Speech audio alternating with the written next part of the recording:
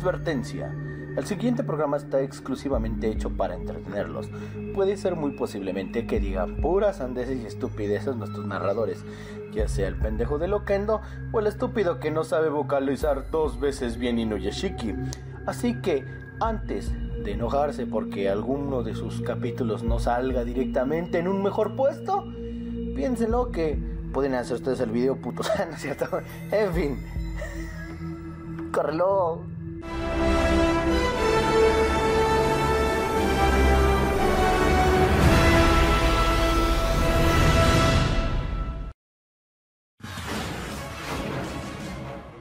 Hola, ¿qué tal banda? Bienvenidos a una nueva edición de los Anime Pago Rankings semanales, episodio número 53, correspondiente a la semana del sábado 14 de abril al viernes 20 del mismo mes del 2018. Primavera ya más en forma, con todos los estrenos importantes, excepto Fully Cooly y varias de las películas que se estarán circulando a lo largo de toda la temporada por lo que toca ver más o menos cómo va arrancando nuestra hermosa temporada primaveral.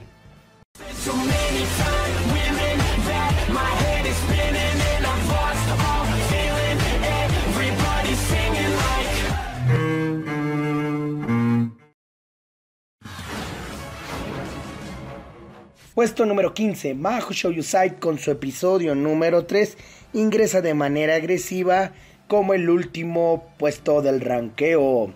A las últimas logró derrotar un poco a Megalobox. Megalobox está siendo bastante decepcionante, por lo menos en su comienzo. Hay muchos que se esfuerzan, o por lo menos yo quiero creer que se esfuerzan a decir que es exageradamente bueno porque tiene que ver mucho con Ashita no Yo. Nosotros no somos fanáticos ni de lo antiguo ni de lo nuevo, sino que tratamos de sacarles un conteo más o menos equilibrado. Y debo decir que dentro de todos los estrenos, Majo Show You Sight es el gore más escabroso, pero no por ello es malo al 100%. El primero de esta serie, la verdad es que sí fue una caca pero después como que fue agarrando un poco tonalidad y terminó siendo bastante bardeable la serie. Así que vámonos con calma y el episodio número 3 se coloca como el 15. Puesto número 14.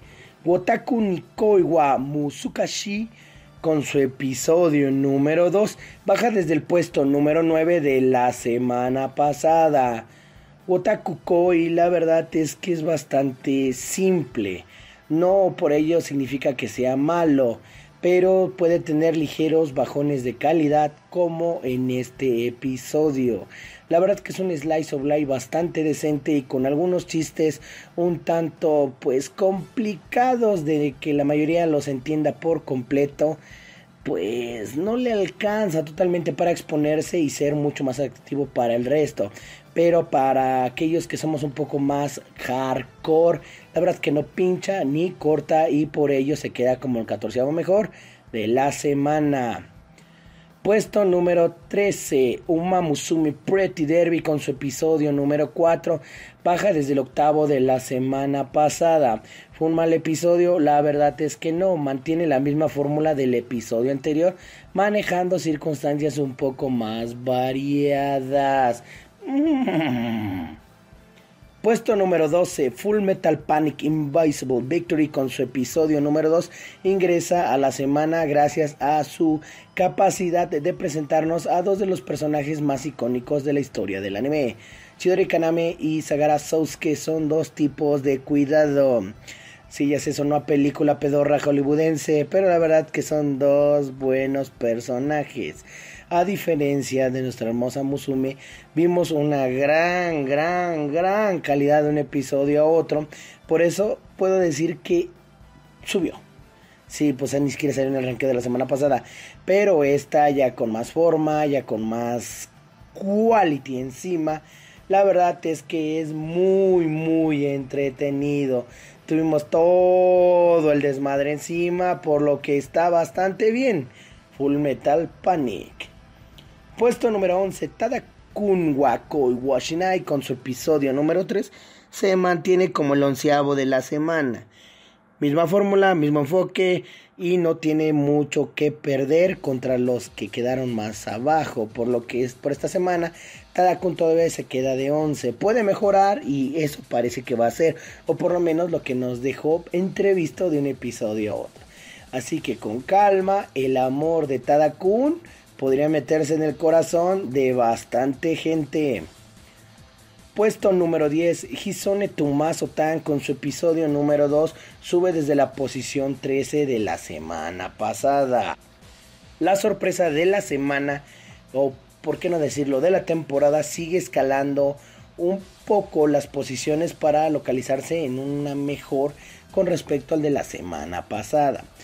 Va a ir evolucionando, puede que sí, pero estando Mario Kada como la gobernante suprema Puede que después se vaya el cagamo todo.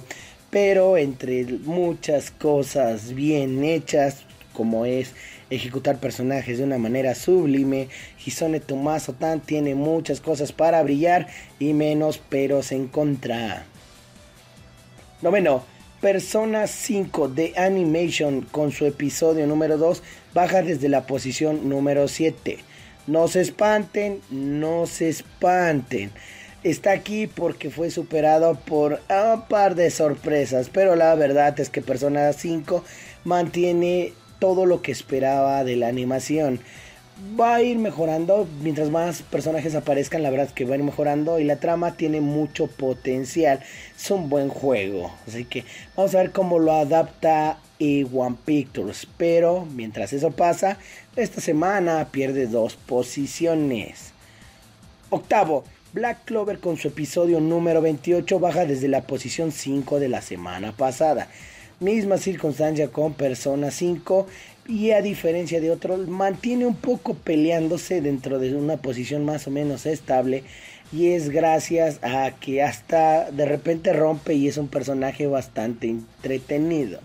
Esta semana logró fundirse dentro de nuestra retina y por eso entre Rebeca y él y Noel se roban una posición decente. Esto es lo que normalmente maneja un shonen.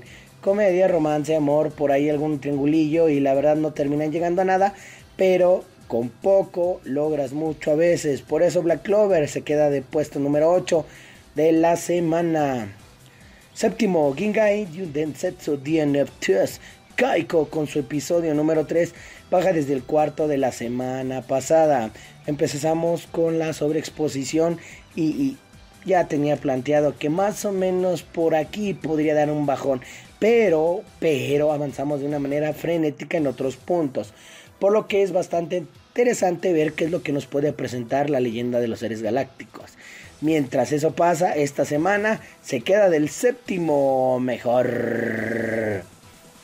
Sexto, Geki Yoban Overlord Nichikokyu no Eiyu ingresa a nuestro conteo. La película de Overlord ya sé que tiene tiempo, pero no la había podido meter porque no había llegado a mis arcas.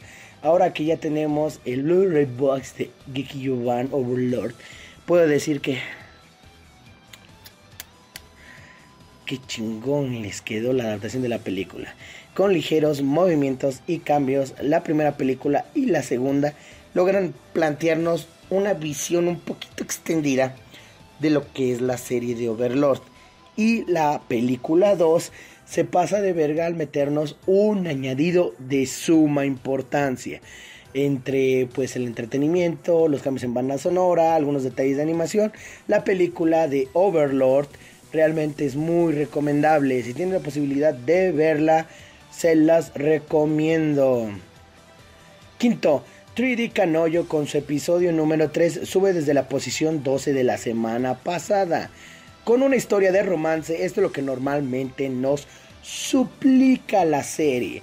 Demos oportunidad a darle cierta tranquilidad, cierta ecuación entre los personajes y si algún episodio es brillante, sencillamente se puede robar la semana no le alcanzó para ser el mejor, pero sí compitió entre los mejores cinco. La protagonista Beach, la protagonista Beach, bueno, que ya no es Beach, el poder otaku la cambió. O a lo mejor nunca fue Beach, pero acá no. La verdad es que fue bastante bonito lo que nos presenta la serie. con calma, con tranquilidad, tiene muchas cosas por evolucionar y si bien no es exactamente la octava maravilla del mundo, esta semana fue sólido, fue conciso y supo manejar muy bien sus personajes alrededor. Bien por 3D Kanoyo. Puesto número 4. Shokugeki no Souma Sano Sara Totsuki Reisha Gen con su episodio número 2. Baja desde la posición 3 de la semana pasada. No hay mucho que debatir, la serie está bien, está siendo bien adaptada, bien ejecutada, tiene timing perfecto, avanza un poquito rápido, pero la verdad es que es lo suficientemente entretenida para mantener una calidad coherente. No alcanzó una mejor posición porque dos sorpresas le partieron el orto de manera categórica. Tercero, Overlord Special Knee Chido Ninjo Tuneco ingresa a nuestro conteo regresivo. El especial de la película. Ay, boludo, no mames. No, genial, güey. ¡Ay! Es, es, que, es que, no, no, no, no, no. Los especiales de Pure Pure Pleiades son grandiosos.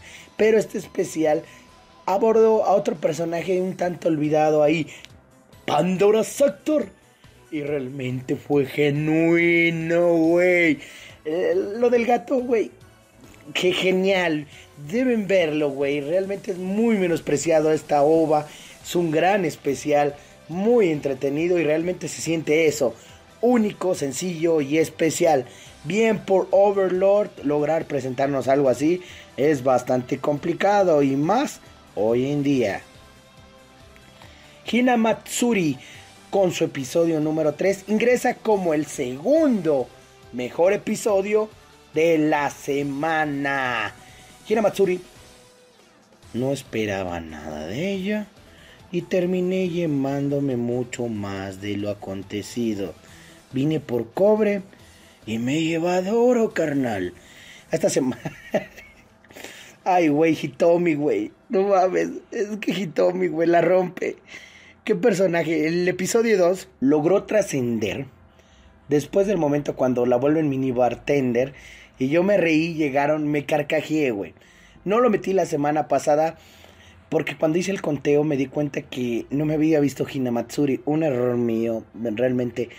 Discúlpenme por ese error grave. No me había visto el episodio número 2. Incluso pensé que no había salido. Un errorcillo de cálculo de semana y realmente yo creo que el conteo pues pudo haber cambiado drásticamente porque a la hora que vi, me vi de los dos episodios de corrido, me cagué de risa con el segundo y el tercero se robó mi alma. Y me la regresó porque después como que decayó un poco, pero Hitomi, güey, no mames. Ay, Dios mío, y se ve de puta madre, no mames, Phil, Phil, Phil, Phil. De por sí trabaja bien.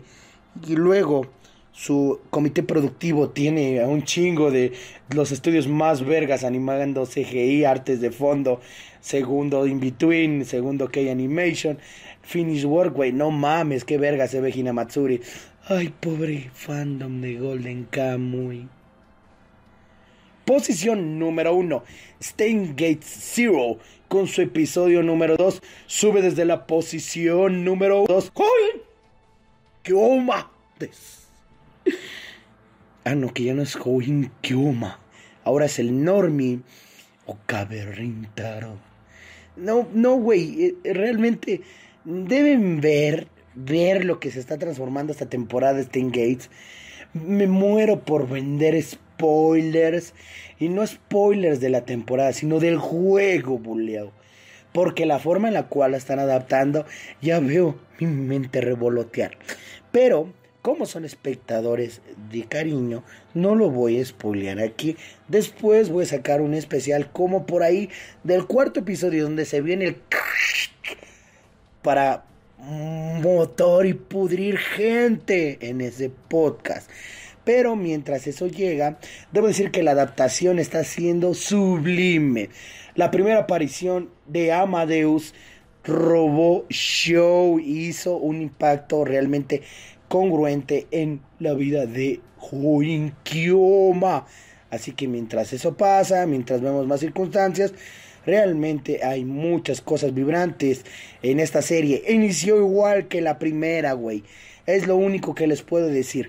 Inició igual que la primera, siendo tranqui, pero de repente te ponen un momento shock y ese momento shock tiene mucho que ver con el final de la primera temporada. Así que mientras muchas cosas hermosas pasan, Stan Gates domina una semana. Así que vamos a ver qué nos trae el destino. Soy Kungru.